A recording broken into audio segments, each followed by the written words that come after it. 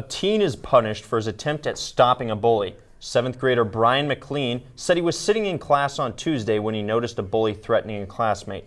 McLean heard the flick of a pocket knife, and that's when the 13 year old took matters into his own hands by tackling the bully.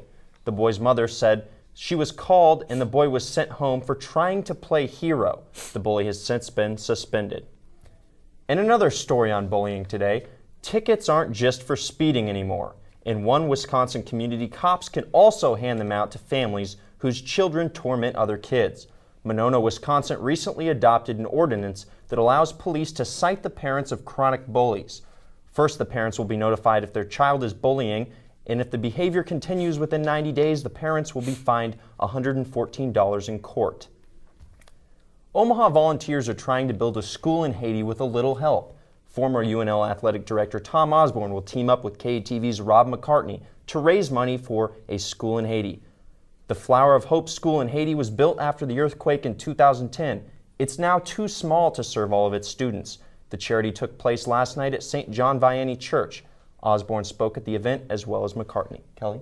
There was a special tennis match in Omaha over the weekend that brought in athletes from across the country. The Lincoln Tennis Buddies is a program through the Special Olympics that brings together tennis enthusiasts and athletes with special needs.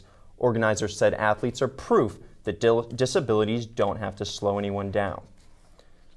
Drug shortages are driving the price of everyday antibiotics way up. Back in March, the American Academy of Pediatrics warned an FDA alert over doxycycline shortage. It's an inexpensive drug that is used to treat infections sexually transmitted diseases, and a new case of Lyme disease. Lyme is a problem in the northeastern U.S. as well as the upper Midwest caused by ticks. Senators from Maine and Minnesota are urging the FDA to do what they can to fix the problem. Last night, this issue showed up on Twitter when Dr. Judy Stone, who practices in Maryland and Maine, announced the price of the drug in her pharmacy has gone from 20 to over $3,000. Hacker group Anonymous released more details about its upcoming news site. It wants to focus on stories that it deems most important. Kardashian need not apply. In a new online update, Anonymous said, to quote, it's time to start getting real news out there.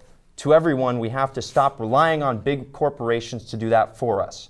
In April, Anonymous raised $55,000 through an online campaign. The group released a note today saying it would announce a launch date in its next press release. Kelly?